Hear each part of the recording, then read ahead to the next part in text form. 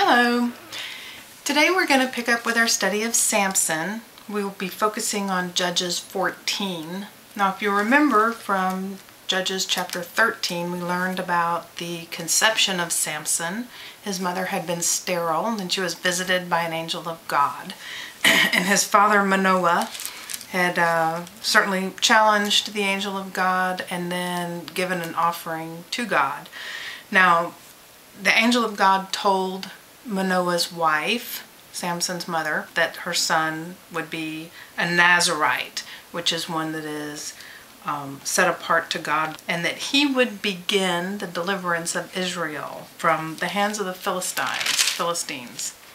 So, picking up with chapter 14, we learn about Samson's marriage. Now, this is not a marriage to Delilah, his most famous wife, but his first wife. So from Samson's birth until the time of this marriage, there's really not any information. So we pick up with Samson going down to Timnah, and which is a Canaanite town, and he sees a woman there and he gets very excited by her and says, that is the woman for me. And he tells his parents this. His parents, his parents say, can you not find a woman of, of our heritage to be your wife? Must you go to a, a woman who worships pagans, a Philistine? His mother and father uh, definitely did not approve. However, he was adamant that this was going to be his wife. And so they went and arranged for the marriage. It says that Samson said to his father, Get her for me. She's the right one for me and he definitely had the hots for her, there's no doubt about it. What his parents didn't know is that by complying, they were actually doing God's work because Samson was going to be used to confront the Philistines. At that time, the Philistines were ruling over Israel. So Samson goes down to Timnah together with his father and mother, and as they approached the vineyards of Timnah, which had renown, being beautiful vineyards, as they approached the vineyards, suddenly a young lion came running, roaring toward them. The Spirit of the Lord came upon him in power, him being Samson, so that he tore the lion apart with his bare hands, just as he might have torn apart a young goat. But he didn't tell his father or his mother what he had done. Then he went down and he talked with the woman, and he liked her. Some time later, when he went back to marry her, he turned aside to look at the lion's carcass. In it was a swarm of bees with some honey. He scooped the honey out with his hands and he ate some and he gave some to his parents, but he didn't tell his parents where the honey had come from. Now his father went down to see the woman, and Samson went and had a feast, which was customary for the bridegrooms.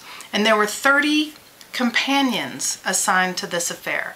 And it's believed that these might have been bodyguards protecting them against marauders, but they were of the town, which would mean that they were also Canaanites.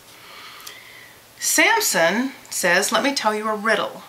And apparently this was customary at wedding feasts to tell riddles. So he says, if you can give me the answer within the seven days of the feast, I will give you 30 linen garments and 30 sets of clothes which may well have included jewelry and silver and things of great value.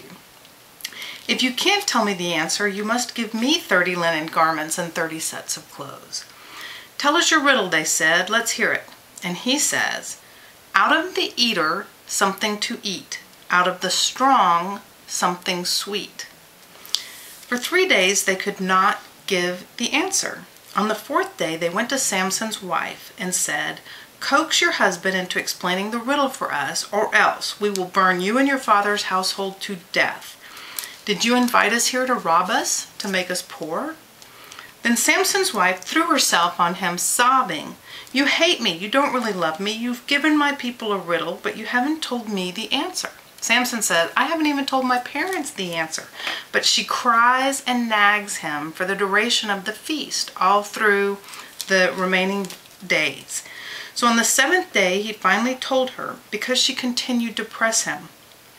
She in turn explained the riddle to her people.